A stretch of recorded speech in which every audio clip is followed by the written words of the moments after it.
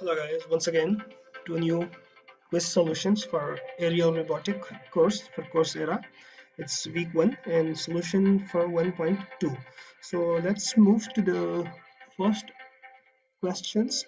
You observe the response of a system shown in a figure. Okay, basically this is the figure we saw in the lecture as well, like professor was mentioning that thing.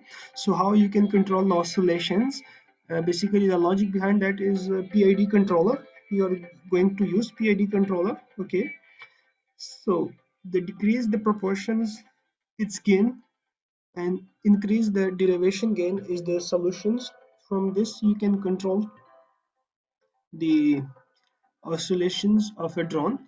And second one was basically you have to download the zip file which is there in the website.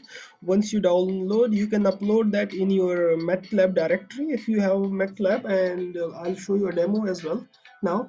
So once you uploaded that file in the MATLAB what you will do next you will gonna run the runsim command in the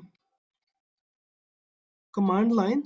Once you run that you will see the GUI graphical user interface and then you just play with that because if you see there was a quiz kind of things during the lecture to find out the KP value. Okay I'll not go into the detail but let me just open the MATLAB okay? So once right now I'm in the MATLAB I uploaded that file. When I run this command okay? So it's open for me the GUI you can see now the graphical user interface. So basically this is the graphical user interface. And the value of KP if I found 25 I calculated somehow and now I click on simulations. So it's run successfully and it's giving value of kind of 12 so I put the value 12 and it give me the correct solution.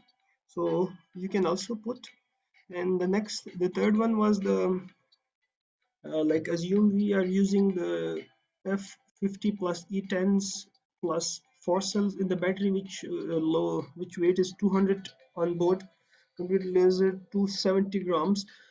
With the thrust weight ratio of the platforms so basically what we are doing we are going to calculating uh, kind of uh, uh, grams I would say.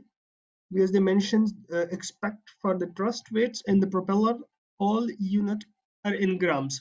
So to calculate you have the solutions here. I just put directly. The computation part is uh, like it's take time. So I don't want to extend the video a lot but if you need any help I'll post me in the comment. I can give you solution. And the fourth part was I, I would say it very simple. Why don't all the rotors of the quad rotor spin in the same direction that we saw also but if it starts spinning in the all rotor in the same directions it will cause robot constantly uh, rotate. That is the correct answer. And the fifth question is like given the quad water consumes 200 watt of uh, the power to carry mass of 1 kg which components contribute more to the quarter quad rotator total power consumptions. Let's suppose we have 100 gram of computer to consume 40 watts for the operation or 200 laser which consume 20 watt for the operation. So basically both contribute the same power for the consumption. There is no other things. So these are the correct answer. And at last i would say thank you for watching and please share with your friends and please subscribe to my youtube channel.